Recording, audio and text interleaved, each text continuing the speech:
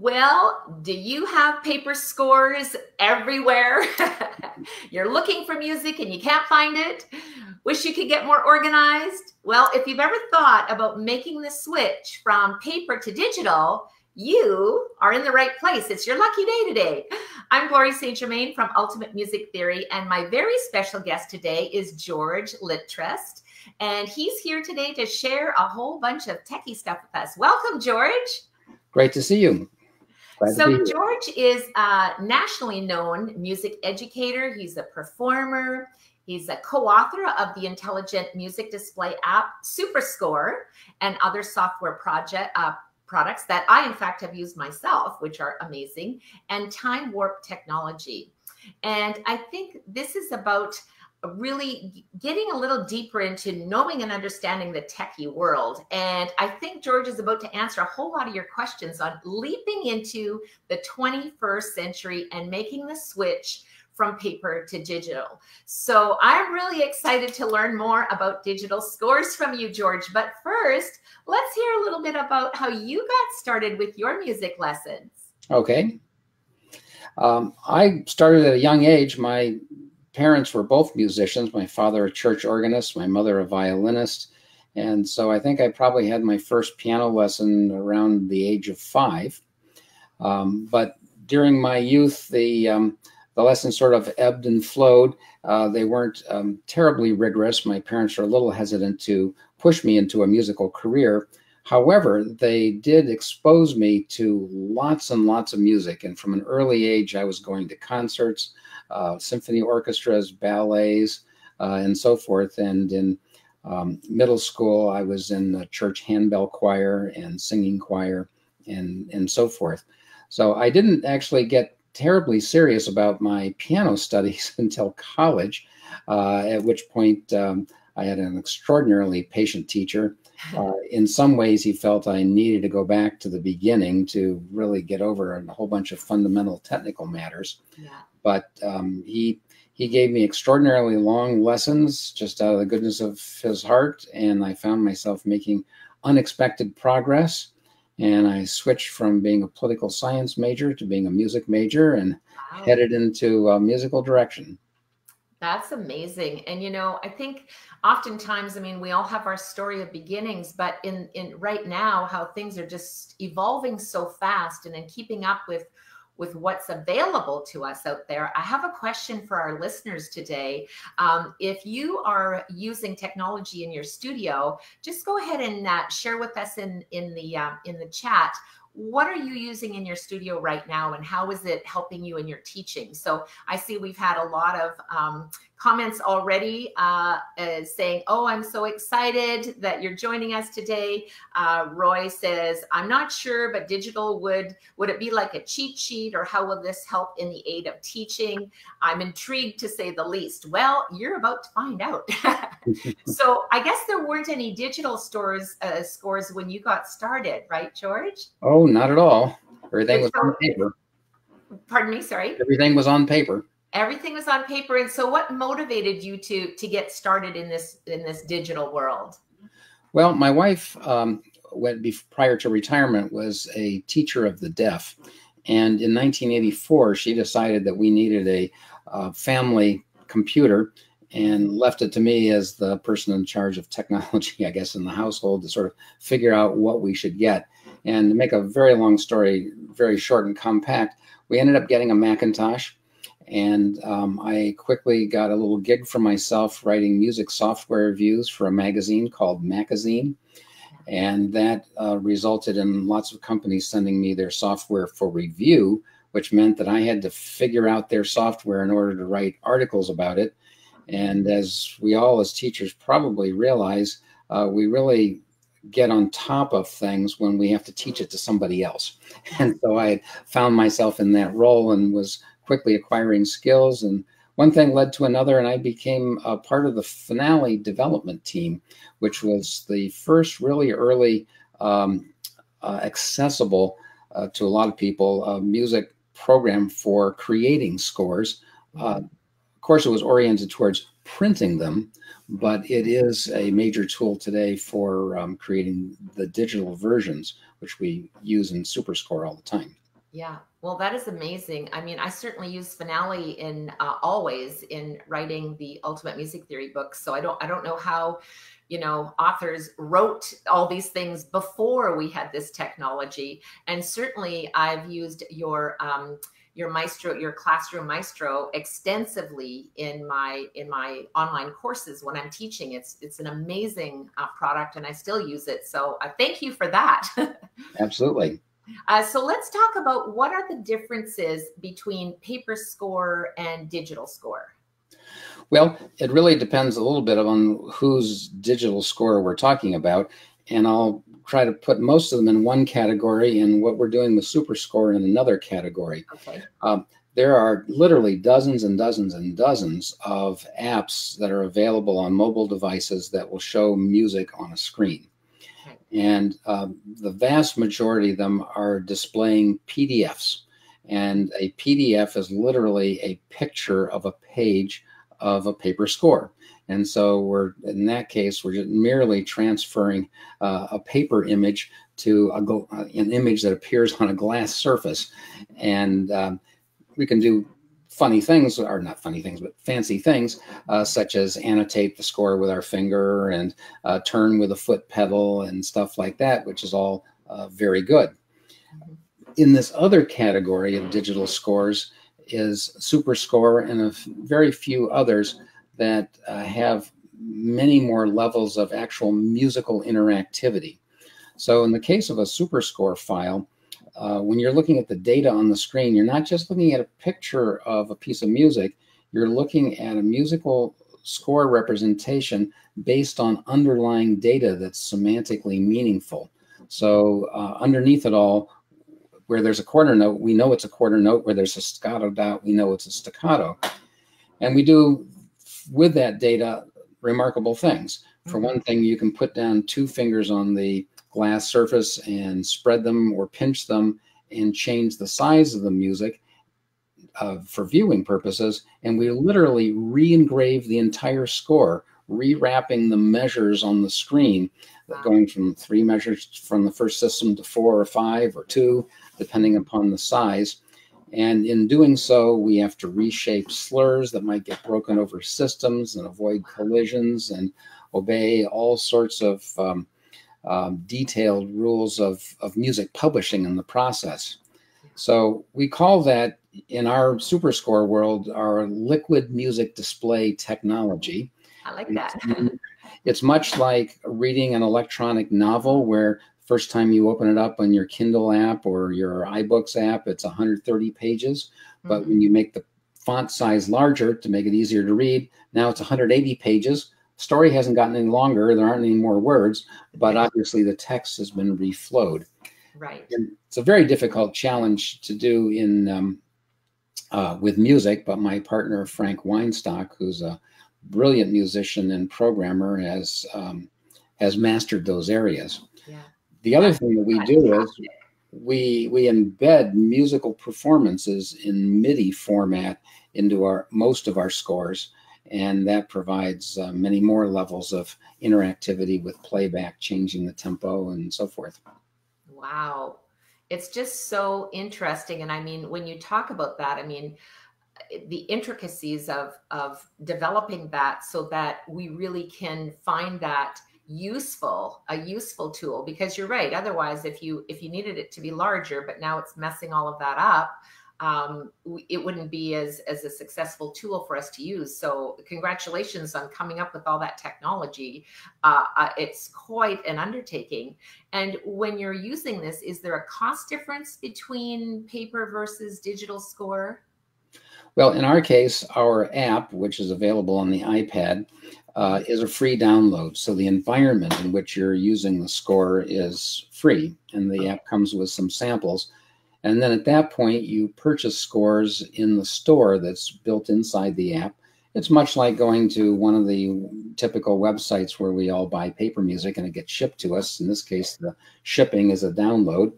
Right. And um, um, the scores that we sell digitally are priced roughly at the same price as the uh, paper versions, sometimes a little less, mm-hmm. but you typically get so much more, especially when there's playback and when there are MIDI backing tracks in so many cases with the piano music and the teaching area, um, things that you don't get when you get a piece of paper. Right. And and so what do I lose when I'm using digital instead of paper?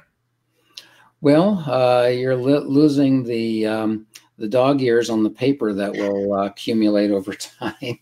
um, I mean, paper is obviously more familiar because we've lived with it ever since we were born, I guess. Mm-hmm. Um, I'm not finding personally that I'm losing anything that I miss. Um, I do have an active piano studio, and at this point, I would say that 80% of the music my students are learning is in SuperScore. The other 20% is on paper. Mm-hmm. And the only reason that the other 20% is on paper is that those particular pieces aren't yet available in SuperScore. Right. Right. And I think sometimes it's it's nice to engage in both, um, to have options for your students. Um, so I I think for me, I think it's important that we use SuperScore so that we're we're current with what is available to us. And the odd time you might have an old, you know, piece of music or something you've written yourself that you just want to share. So the dog year can still work now and then. and is there something that I can gain when I'm using the digital score? Well, um, so many different things, and it really depends on what level of music and and so forth. But let me just draw out one example. Um, I started a couple of new students in January and am using the music pathways method with them, something I hadn't used in many years, but had used a long time ago uh, in its paper form. And I mm-hmm. found that it was very effective in quickly teaching a very wide reading range. Um, and the, the pedagogues who were behind that method, Marvin Blickenstaff and Lynn Freeman Olson and Louise Bianchi, were you know very brilliant people. Um, well, I'm having a different teaching experience with these students today. I mean, back in the old days, I would have to cross my fingers that during the six days between lessons, uh, my students wouldn't be learning the wrong notes during the week, or that they would, in fact, be um, rigorously counting out the, the rhythms of their pieces in order to learn the, the right rhythms uh, for the next week. And if they didn't do those things, they would have developed muscular habits that would have to be unlearned and, and so forth. Right. Well, today, the digital version of that um, method has embedded MIDI accompaniments from Paul Sheftel, which really function like a musical metronome. So, right from the get go, they're feeling the pulse, they're hearing the rhythms, they have something to imitate. There's a moving cursor that uh, helps to clarify, oh yeah, that half note does take twice as long as the, the quarter notes. And these students happen to have a digital piano, which isn't required, but because they have one and it can connect to the iPad, they can go into our learning mode in which uh, the program won't go beyond a certain note if they play it incorrectly. So they always come in with perfect rhythm. they always come in with the correct notes. Uh, the accompaniments are quite imaginative. They come in with excitement and smiles on their faces. Uh, so many impediments to learning have just plain disappeared. Yeah. I think one of the great things too about using um, uh, the SuperScore is that when you have backing tracks, and I mean, we've all had the old metronome, but you can ignore it and just do your own thing but i find that when you have something uh, like that and you're and you're actually playing with the backing track as in anything if you're playing with a band you don't you don't slow down. You keep up and if you miss a note you just have to maintain your tempo. So i think that part of it is really helping students become true musicians in you know you got to stay on point. Um, and perhaps maybe there's a concern that some users may have and that's what is the real world experience? Like when you're using a digital score in and i'm talking about turning pages you know marking up the score as a teacher i'm one of those i love to have my mm-hmm. pencil and and mark up the score. And maybe what about if if it's you know the batteries running down on the tablet? Like what are what are some of those concerns? Well uh, let's start with the page turning. Um, in lessons, I do use my Apple Pencil, um, and it's kind of funny. I I use it uh, as my baton. I conduct my students. I use it just to reach over and point to something in the score, um, and I often use it to just turn the pages with a little swipe, and it's far less intrusive than my hand. Um, and so uh, there are just many things that I, I do with my pencil.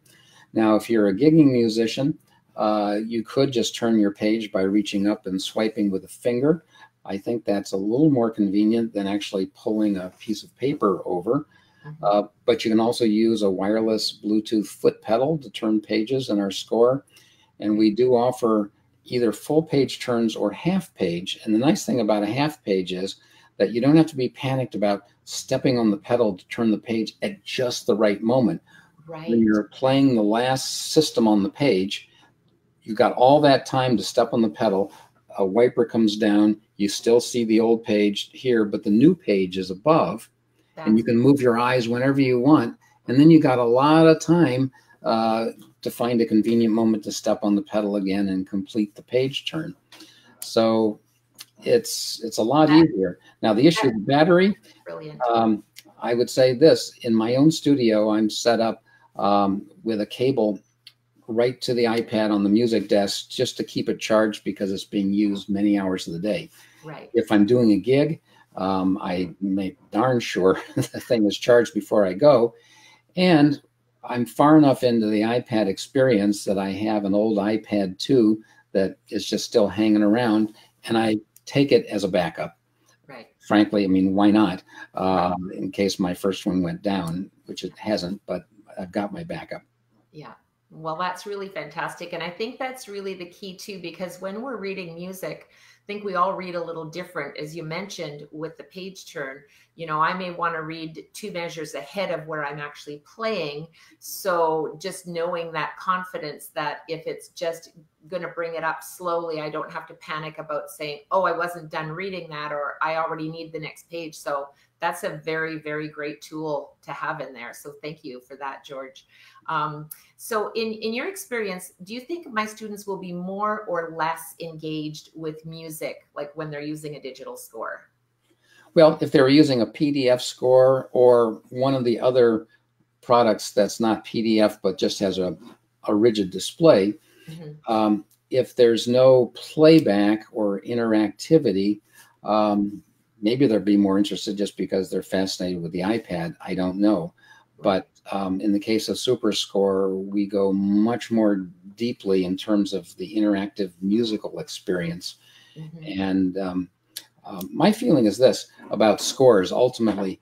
If you think about it, when you look at any score, whether it's on paper or on a tablet, it takes quite a bit of musical understanding uh, to look at all those symbols on the page and process it and figure out what the heck is this.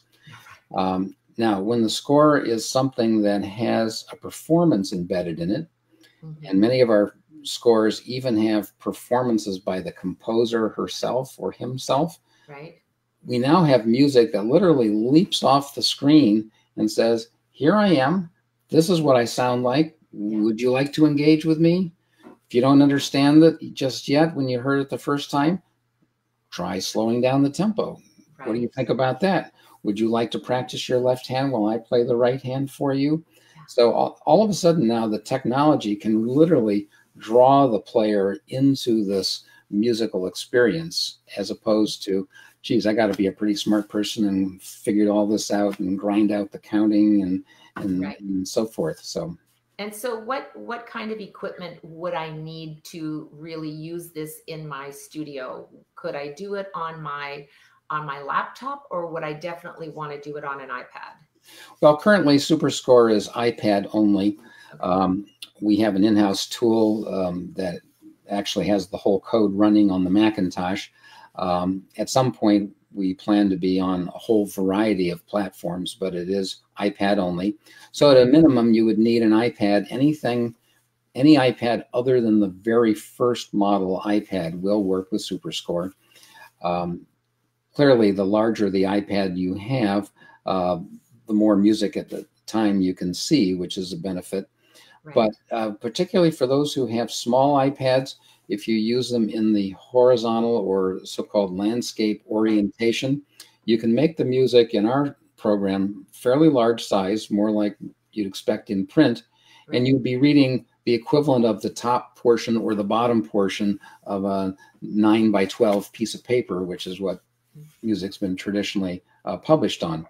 The other thing you would probably want would be to plug a um, little speaker into your iPad to amplify the, the sound, or you possibly use a Bluetooth speaker. And those would be the minimum requirements. Now, if mm-hmm. you want extra interactivity, like it follows your tempo when you play or it waits for you to get the right note, that would require some kind of a, a digital or technology equipped piano that can communicate with the iPad.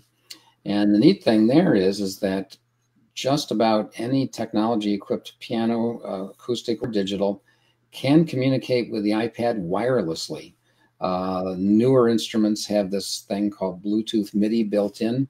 Right. And in the case of older ones, it's just a matter of getting a $50 dongle that you plug into the instrument, and all of a sudden it's wirelessly talking to the piano. And there you go. You know, it was interesting. Um, we had our uh, family was performing, and uh, they had a rehearsal here, and of course, everyone came in with their gear and set up, and there was, uh, I guess, 15 people in all, with his 10 singers and five piece band, and I noticed because I was taking some pictures of, you know, the family uh, getting ready to perform, and the uh, bass player had out his large iPad and he did everything on the score. You know, there were, of course, rehearsal and, and he was just changing things and he had his little eraser and moving a measure here or there or whatever he was doing. And I was just like, wow, like he, there was not a piece of paper to be found in that studio. Everybody was just on their iPads and then they just put them in their case and off they went. And I thought, and and it was so easy because to just get in there and use that tool um, especially for musicians. And i think when you are able to teach children and or teens or whatever age you're teaching and just get them started using the technology i mean it just makes it so easy for them when they're they're performing with their groups or or even in concert or um, I, I think maybe one of the questions that i'm wondering about is do you think that my students will learn faster when using a digital score I do if it's a, um, a SuperScore file, particularly that has um, a performance in it and um, depending upon their level, MIDI backing tracks. Um, otherwise, if it's just viewing the score on the tablet as opposed to a piece of paper, I don't know that that by itself uh, does anything. Uh, yes. I would want to make a comment though about um, the bass player. Um, I went to a wedding recently and and there was quite a group there that was performing for the wedding. They all had digital scores. You're increasingly seeing musicians on stage with them. In most cases these days when you see gigging musicians with a digital score they typically have a pretty large library in pdf format. Right. and there is a web uh, music freely in this format. Yeah um, so when we're talking about just having quick access to a lot of material, I'm not trying to be dismissive otherwise about PDFs. They're they're extraordinarily helpful. Uh, applications like forScore, Piascore, Next Page are very good in terms of um, letting you set up uh, uh, playlists or set lists where you can go from piece to piece to piece and whatnot. But I do see the PDF format as a um, um, an interim step between paper and this future world of interactive, flexible um, digital scores, which is where we are with SuperScore. We do have uh, an optional feature you can add to your SuperScore app, which will let you bring PDFs into SuperScore, so you can have your PDF library in the same app with your SuperScore library. We don't do all of the fancy things that forScore does with PDFs. We just do the basics because we're focused on the um, the future. Right. I have there's a couple of questions here that um, are coming in, so I thought I would just help you uh, address these. Sure. Um, uh, so um, Rex has a question. It says um, and says, uh, is it similar to organizing your music playback series?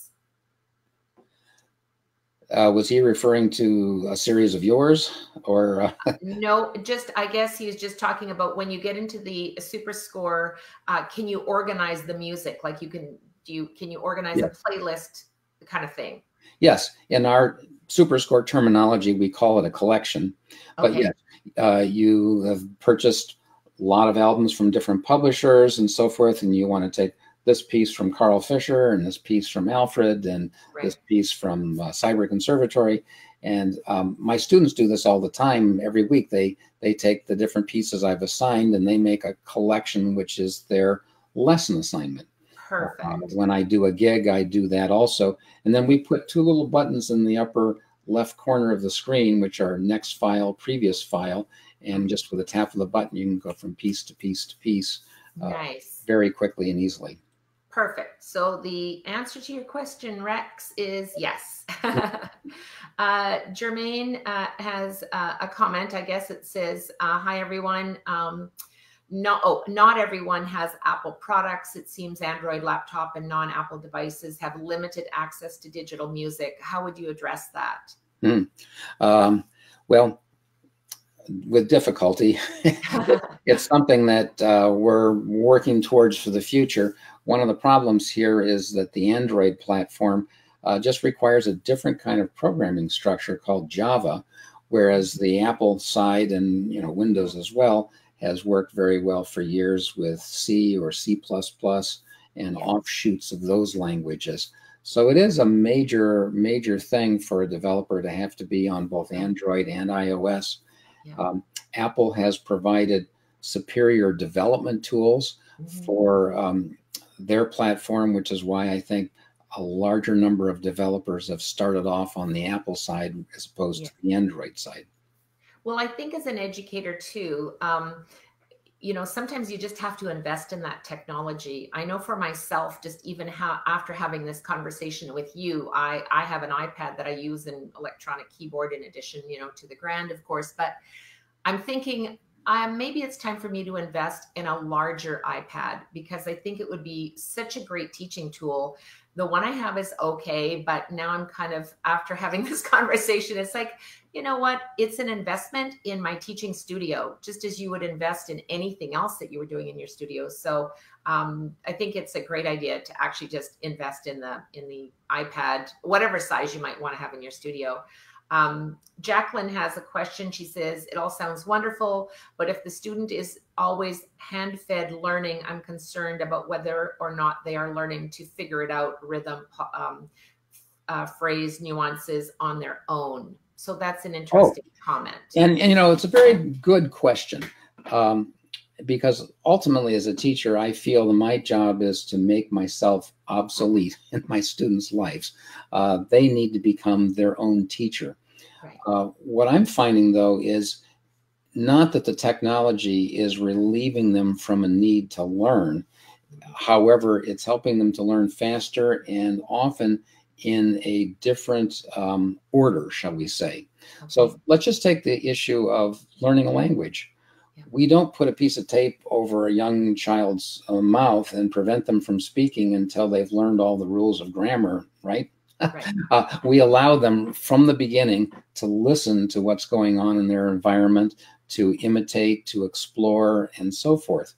So, just to take one brief example here, going back to the music pathways, what I've found has been that in the old days, I would have to uh, really focus hard at the beginning on the issue of what's the difference between a quarter note and a half note, how are we going to count it, how are we going to tap it, go through all sorts of activities to try to get a student to understand that. Right.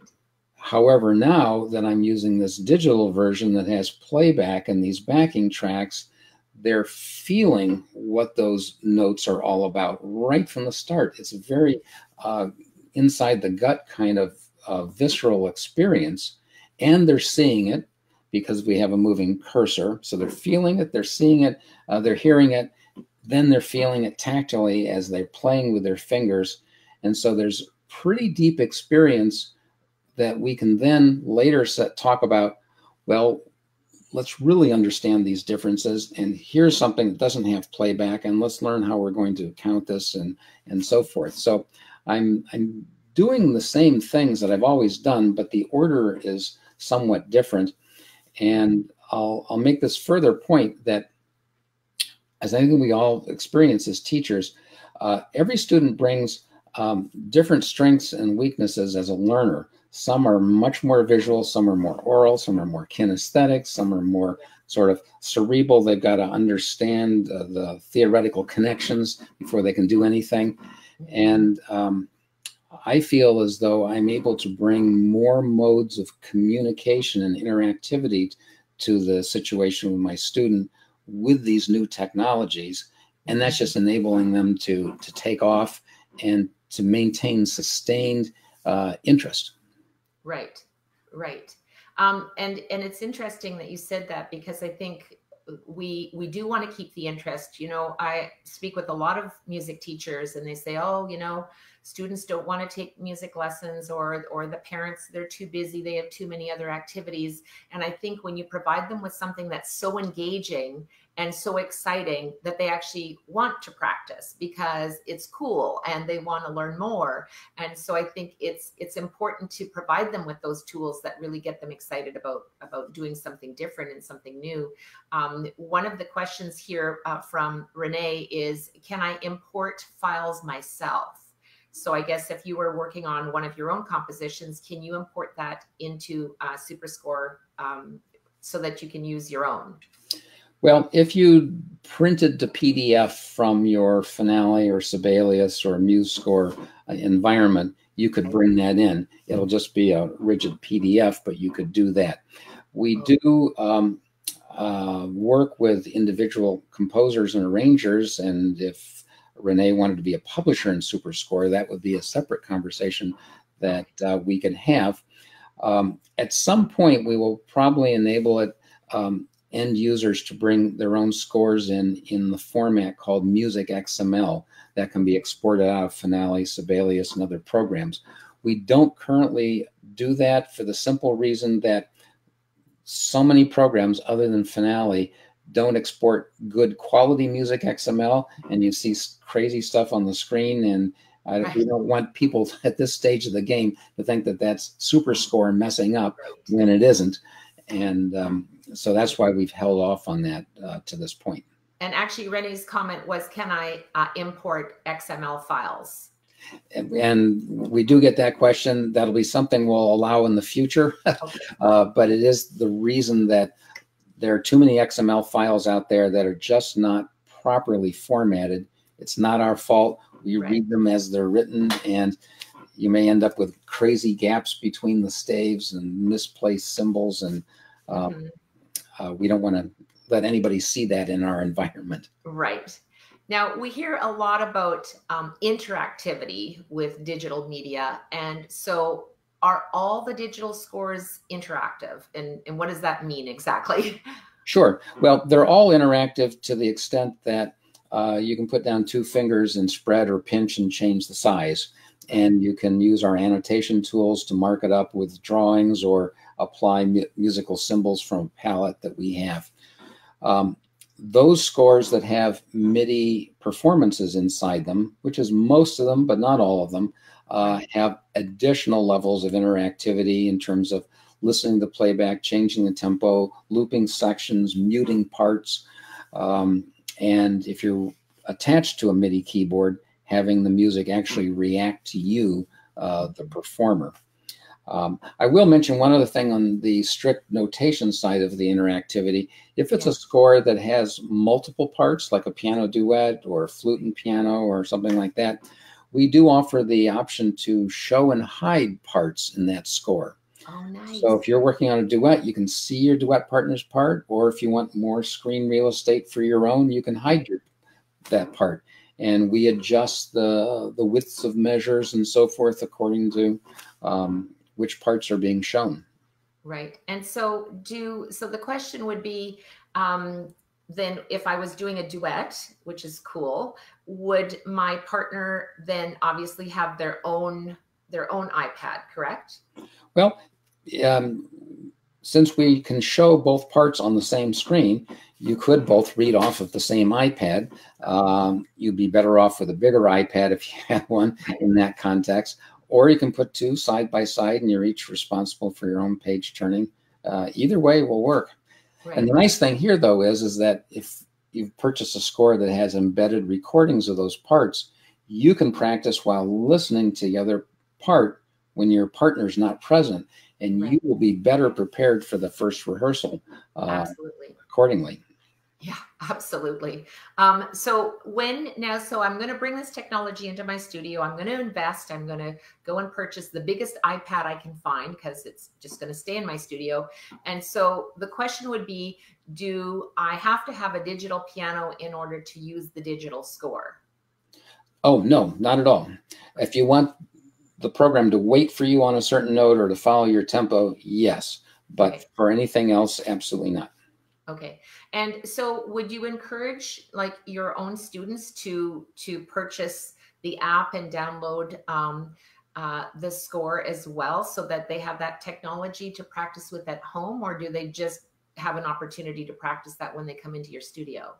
Well, all of my students have an iPad, and um, in the case of one family that didn't, they were well, actually two, and a recent adult, um, they were willing to go out and get one. So all of my students have their own iPad, and they buy their own music according to what I assign them, Okay. um, and so um, and then they bring their own iPads in. I have my iPad here too, uh, but uh, they bring their own in. oh, that's so they bring their iPad when they come for their lesson. hmm Okay, because they can also put their their um, collection together as you said for their lesson. So that's cool, right? Absolutely. So now I know I'm not alone. I'm going to ask you the big question. Okay.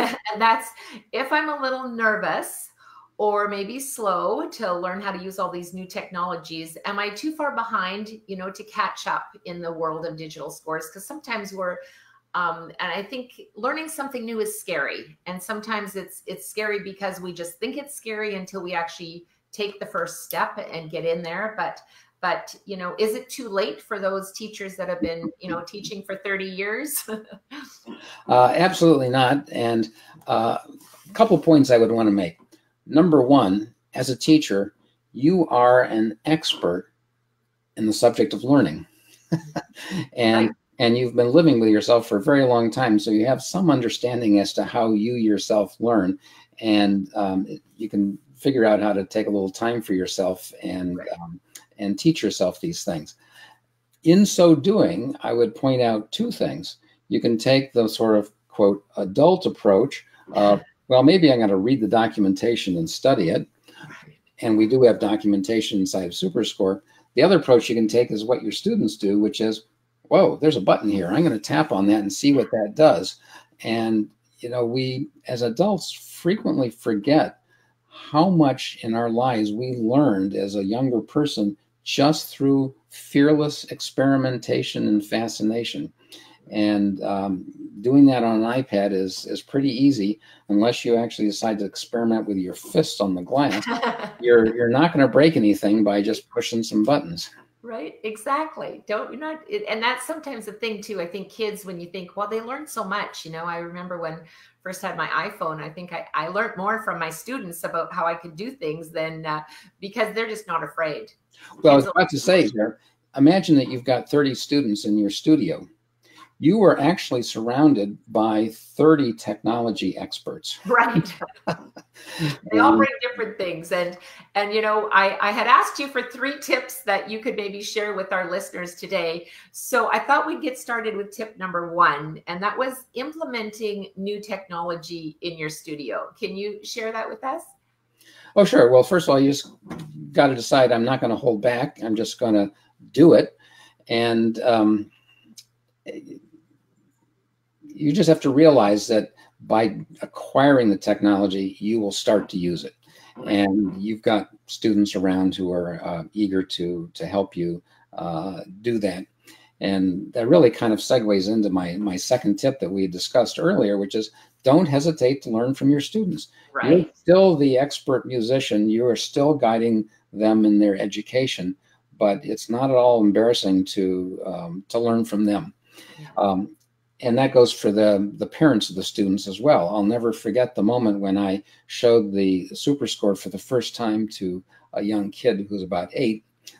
The mother was sitting next to him in the lesson, furiously taking notes. But within minutes, the kid had everything figured out, and he didn't have to write anything down. He knew exactly what to do. Yeah. Um, but I do have a third tip in this regard, which is um, more on the adult level. Um, find a colleague who can be your technology buddy, who's kind of in the same boat as you, a little uh, intrepid here, um, and you get together and share your experiences, and you'll very quickly find that if you've learned just this little bit about the iPad or about SuperScore, and you share that with your colleague, all of a sudden you're articulating a whole bunch of information you didn't realize you had, and you're just in a different zone because you're now starting to to teach somebody else what you know and you realize you know more than you realize and one thing leads to another very quickly. Yeah. well they always say if you truly want to learn something teach it. And i think you've really shared with us today that you just need to step outside of your comfort zone if you haven't tried it before and just explore because it this is an incredible resource that is now available. And and not only will students learn faster but there really will be more engaged i think. Um, and sometimes just when we always do the same thing that we've always done we kind of get in that rut. And i know for myself i'm an avid student. I love learning. If i haven't learned something new every day i feel like i've wasted a day. Like i, I need to it, it's what feeds me as an educator and certainly I'm about to uh, to go and explore. Uh, so my students are thanking you in advance for for making me step outside my comfort zone and say, "Well, Glory," and I'm a junior techie. I mean, I live in the tech world, of course, as you know, but it, there's always something new, something more to learn. And you can connect and learn more about these resources by connecting with George on his Facebook page, or you can check out the timewarptech.com. I'm actually going to pop it up on the screen here uh, so you can see it. It's timewarptech.com. So the question is, George. All right. Why why is your company called Time Warp Tech? Okay. Um, music performance literally is a time warping experience. Yes. We get this sense of the regular passing of time, moment to moment, beat to beat, uh, and that provides a framework within which we have melodies and harmonies and so forth. Yet, as skilled musicians, we are stretching and squeezing time as we play, either in very small increments or you know in very large, uh, obvious rubato. Uh, and in our very first um, software product, which was Home Concert Extreme, we set up a situation in which you could have this rigid MIDI file of backing tracks, and yet you could play speeding up and slowing down, and the software would follow you. You could even practice a piano concerto with an orchestra, virtual orchestra, and it would follow you. So it was a real time time warping experience. In our SuperScore files, our pedagogical pieces are typically in rigid time, except for maybe a retard at the end. Mm-hmm. But we're also publishing concert level literature now that we call interactive urtext editions, scholarly editions, but with built in performances by a concert artist. And yes, the metronome settings, you can watch the tempo, it's getting faster, slower, faster, slower, moment by moment, all the way through. Yeah. And we're literally crossing that boundary between the mathematical rigidity with which we notate music mm-hmm. and the human flexibility with which we perform it and experience it. So that's why we call ourselves time warp technologies. That's a good answer. so I, I, guess as teachers, um, you know, what would you suggest? How are we going to move forward with with our studio business plans to achieve our goals?